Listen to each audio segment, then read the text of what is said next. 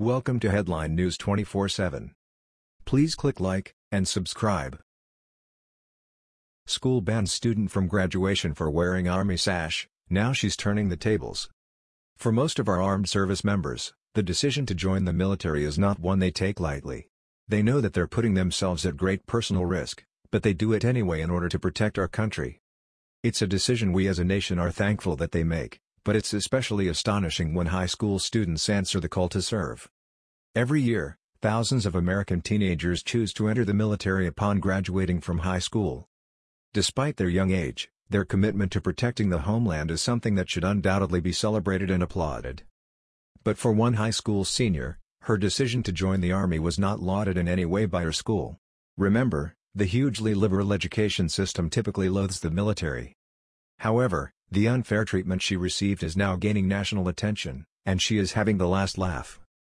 From IJR A Pennsylvania high school has barred senior Toni Kress from wearing her United States Army sash at graduation, and now she and her parents are speaking out against the rule. During an interview with Fox and Friends, Kress, who has already signed enlistment papers to join the Army, explained that Central Valley High School administrators said she can't wear her sash to the June 1 ceremony because it doesn't match the school colors. During the interview, Kress stated that even though there is nothing in her school's handbook that says she can't wear her sash, she is still going to respect the school's decision. Her father, on the other hand, had stronger words for the school's nonsensical rule. She worked hard for this.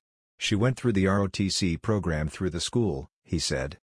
In today's world where we have kids out there eating Tide Pods, she's willing to stand up and fight for her country. The high school should be proud of students who want to show their military pride by wearing something like an army sash. But the school's excuse to ban the sash, because it doesn't match school colors, is almost certainly a smokescreen for the actual reason. They're more than likely worried that someone might be offended by the army sash and what it represents, patriotism, love of our nation, and a willingness to physically defend others. The school's attitude signifies a larger problem in our public schools. They are run by liberals who have nothing but disdain for those who serve. One high school teacher made national news earlier this year when he publicly mocked a student who wanted to join the military, calling our service members, the lowest of our low. All of America should get behind this courageous young woman since her own school is failing to do so. She worked hard to earn her sash, and she should be allowed to wear it with pride. That was the news.